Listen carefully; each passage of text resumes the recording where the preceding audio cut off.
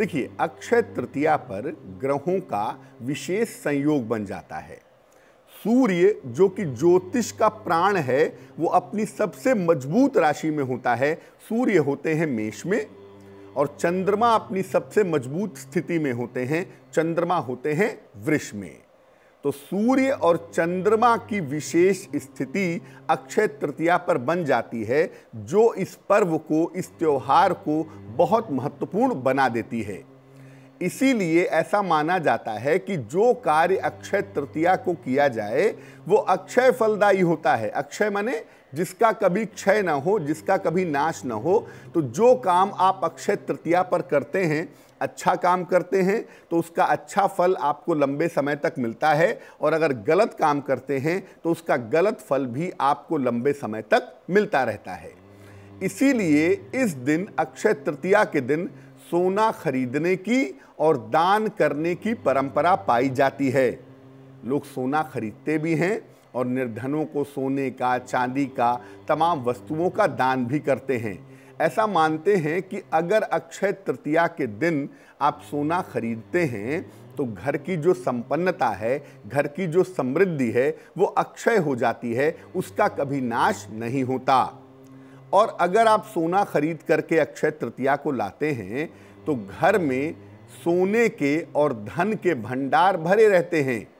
यानी जो काम, जैसा पहले भी कहा कि जो काम आप अक्षय तृतीया को करेंगे, ऐसा माना जाता है कि वो काम आप लगातार करेंगे और उस काम का जो प्रभाव है, वो भी आपको लगातार मिलता रहेगा। तो अगर आप अक्षय तृतीया पर सोना लाते हैं तो इसका मतलब है कि आप निरंतर सोना खरीदेंगे, निरंतर आपके पास पैसा आता रहेगा और आपके घर में जो भंडार हैं, धन के हैं, संपत्ति के हैं, संपन्नता के हैं, वो निश्चित रूप से भरे रहेंगे। अब ये जानते हैं कि आखिर सोना ज्योतिष में कितना ज़्यादा महत्वपूर्ण है, कितना ज़्यादा इंपॉर्टेंट है। देखिए, सोना पृथ्वी पर पाई जाने वाली मूल्यवान धातुओं में से एक है। पृथ्वी पर बहुत सारी मूल्यवान धातुएँ पाई जाती हैं। सोना है, चांदी है, तांबा है, ठीक है ना? उसमें से सोना काफ़ी मूल्यवान माना जाता है और सोना ये बताता है कि आप कितने समृद्ध हैं, आप कितने प्रॉस्पेरस हैं और आप कितने संपन्न हैं, ये बात सोना बताता है। इसीलिए आप देखिए कि लोग सोना पहन करके फ्लॉन्ट करते हैं, सोना पहन करके ये दिखावा करते हैं कि मैं बहुत पैसे वाला हूँ, मेरे पास फाइनेंशियल कंडीशन बहुत अच्छी है तो सोना पहन करके लोग फ्लॉन्ट भी करते हैं। क्योंकि सोने का मतलब होता है कि अगर आप ज़्यादा सोना पहनते हैं तो इसका मतलब है कि आपके पास काफ़ी पैसा है, काफ़ी संपत्ति है, काफ़ी धन है।